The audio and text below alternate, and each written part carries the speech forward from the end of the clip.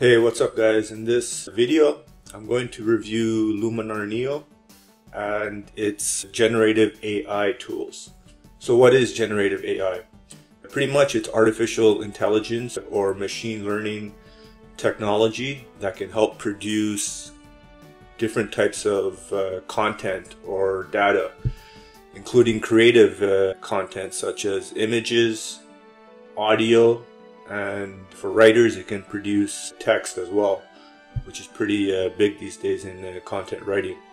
But anyways, uh, Luminar Neo has three types of generative tools. It has Gen Erase, Gen Swap, and Gen Expand.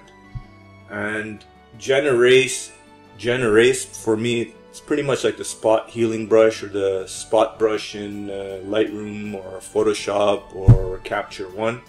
I'm going to show you an example here. Let me just click on Gen Erase.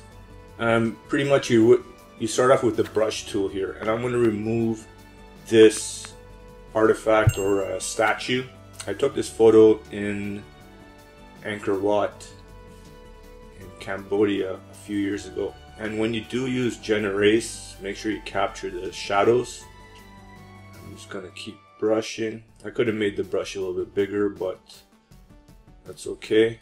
One thing I do notice with the brush tool, with the generative AI tools in Luminar Neo, it does lag a little bit.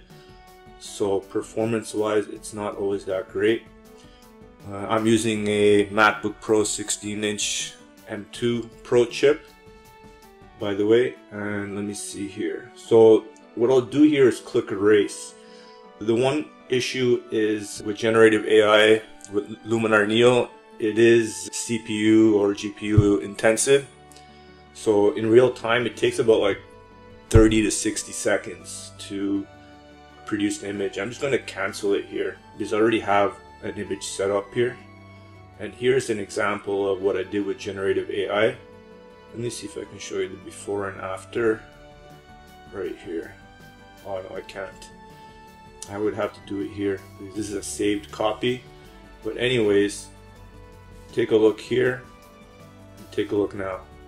Uh, of course, you can make a little bit more refinements here with, in uh, Photoshop or Lightroom to clean up this wall, clean up this pointy thing out of the Buddhist uh, statue here. But overall, with testing generative or Gen Erase, it does a pretty good job, but it's pretty similar to the spot healing brush in many photography apps. Now I want to go to the Gen Expand. So the Gen Expand, it works, it works pretty good. Pretty much is just to increase your crop and or make your crop bigger and fill in some empty space. What you can do is you can just drag the crop tool here or the expand tool if you want to call it that and then you just click expand here. One thing you can write something here but I find that just leaving it empty it works really well.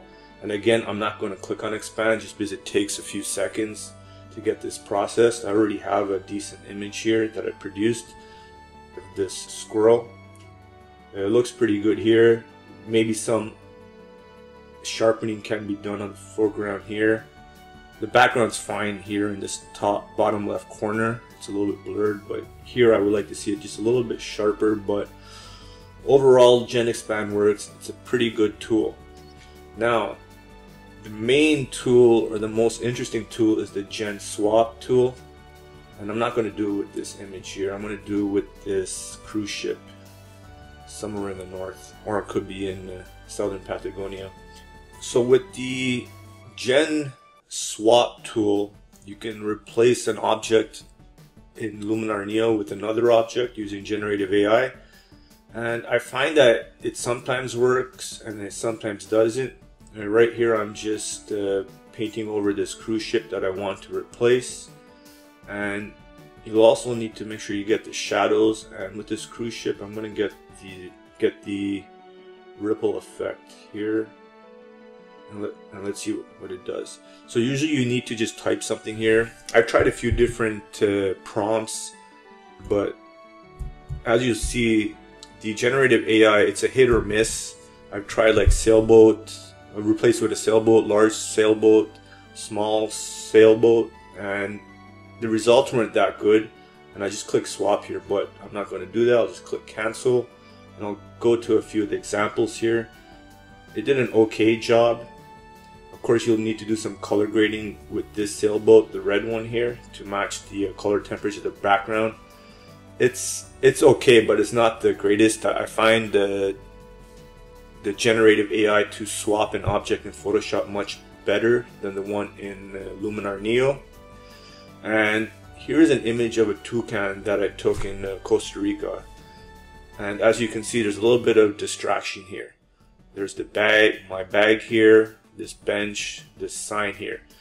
And with this photo, I used the Gen Erase as well as Gen Expand to see what I can do. Actually, I used the Gen Swap as well. So with the Gen Erase, I was able to remove the sign here uh, there was a little another sign here as well as my backpack, but it did kind of mess up the bench that my bag was on. And the sign that was here, you can see the metal frame going down, and then you can see a little bit of distortion or a little bit of the bicycle messed up here. I did need to remove this pedal here as well, but overall, it did a pretty good uh, job. The but I went overboard with the gen swap to see what it can do.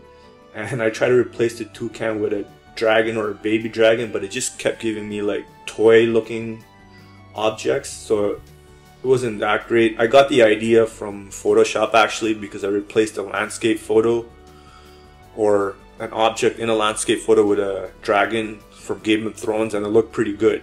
So I wanted to see what Luminar Neo could do, but unfortunately it doesn't do a great job with the Gen Swap.